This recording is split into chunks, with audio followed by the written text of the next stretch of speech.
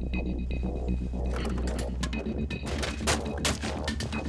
It's 7 a.m. and the sun is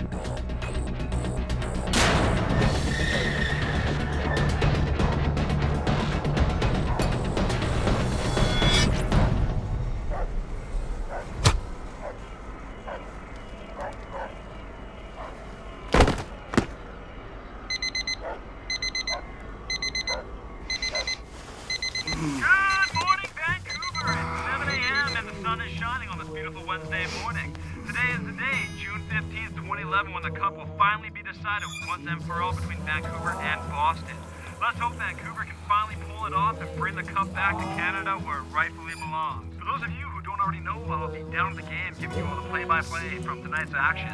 If you don't have tickets to the game, make sure you have plans to head out to a friend's place, a pub, a bar, wherever there is a TV where you can cheer on Vancouver. Don't forget that the city has set up big screens down on Hamilton Street West Georgia and Robson for your viewing experience. I'll leave you guys now with a little homegrown talent, Said the Whale. I'm Matthew Sauer, and you're listening to VWTF 103.1.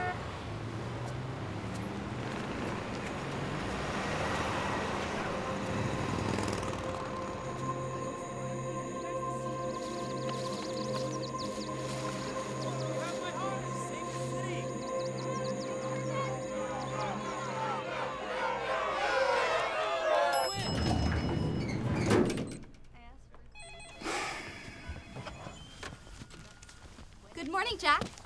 Excited about the big game tonight?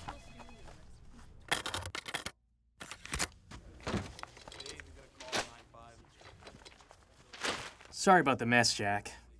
Kowalski keeps on sending paperwork out of his Looks office. Looks like it's going to be another long day. Well, at least we have Game 7 to look forward to. Yeah, I forgot about that. Come on! Where's that playoff fever? Jack! Jack! Jack! This is no good! If I had a five-year-old kid, he could do better than this. Good thing I don't have kids. Now I want you to take this paperwork and get the hell out of my office.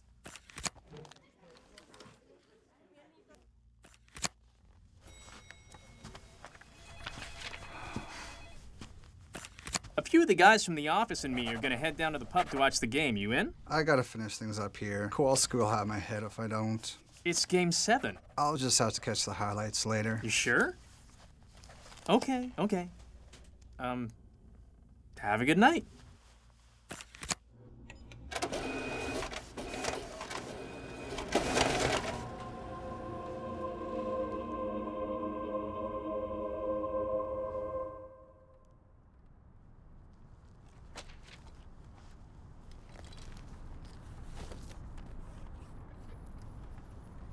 Boston has the one to nothing lead going into the first intermission in the seventh game of the series.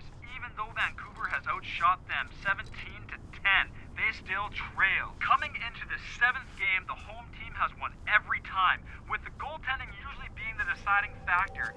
If Vancouver wants to win this one, they are going to need big saves at key times like they had at home all series. Goaltending is the key, but it isn't everything. Vancouver's key players need to step up and make some time plays. They have been fairly quiet all series, and if there's ever a time to step up, it would be now.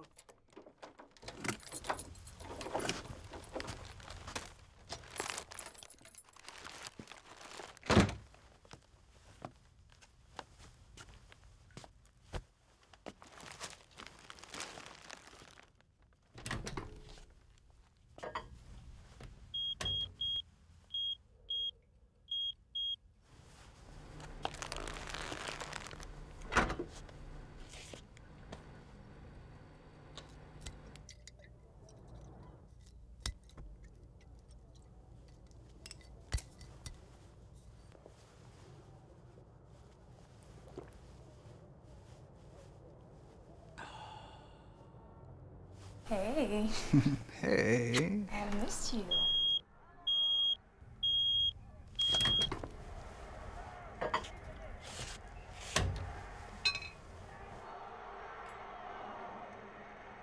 We interrupt your regular programming for a breaking story from VTV News. You're looking at live pictures of downtown Vancouver where some disappointed fans have taken their anger to the streets. Vancouver lost to Boston tonight in Game 7 of the Cup Finals. a 4 to nothing loss. While most fans took the loss in stride, others seem intent on causing trouble. A couple of vehicles have been set on fire in downtown Vancouver. Some windows broken in office buildings and retail shops. Riot police have been deployed, trying to control the crowds. More than 100,000 people had gathered in downtown Vancouver to watch the game on big screen TVs. Vancouver's loss seems to have ignited frustrations among at least a small group of them. VTV's Kevin Woodley is on the streets for us. Kevin, what's your sense of how many people are actively involved in all of this violence? Thanks, Jackie. Well, from the police, we're getting a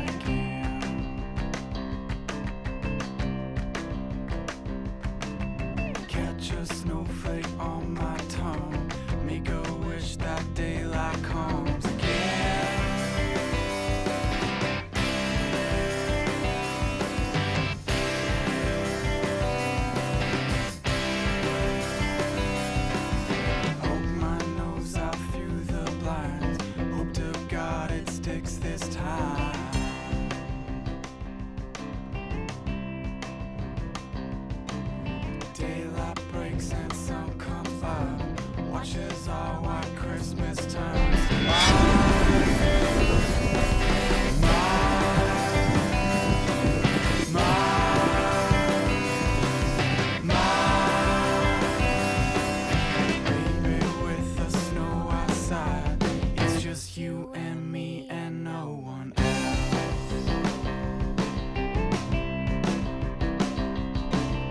Talk about the years gone by. Ain't it such a shame how time flies?